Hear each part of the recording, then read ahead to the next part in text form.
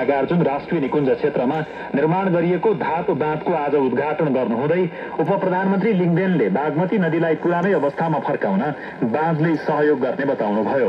उप प्रधानमन्त्री लिङ्गदेनले बाँधको निर्माणबाट जैविक विविधताको संरक्षणका साथै पर्यटन प्रवर्धनका साथै बहुआयामिक महत्व रहने उल्लेख गर्नुभयो। उप प्रधानमन्त्री लिङ्गदेनले धाप बाँध भन्दा केही तल नागमती बाँध बनाउन जग्गा प्राप्तिका लागि अनुमति भइसकेकाले छिट्टै नागमती बाँधको निर्माण शुरू हुने बताउनुभयो। शहरी विकास मन्त्री विक्रम पाण्डेले धाप बाँधको वरिपरि बायो इन्जिनियरिङ गरेर दीर्घकालसम्म संरक्षण गर्नुपर्ने बताउनुभयो। मन्त्री पाण्डेले विकास निर्माणका काम गर्दा डिजाइन र सुपरिभिजनमा गलत गर्ने कम्पनी र निर्माण व्यवसायलाई कार्यवाही गर्ने बताउनुभयो।